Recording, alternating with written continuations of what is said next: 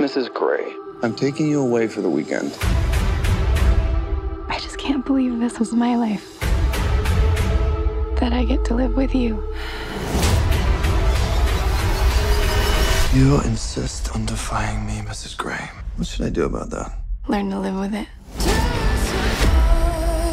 This Valentine's Day, treat yourself Christian.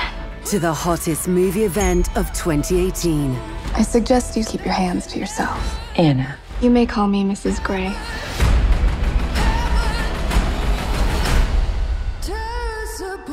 Fifty Shades Freed. I should misbehave more often. Book your tickets now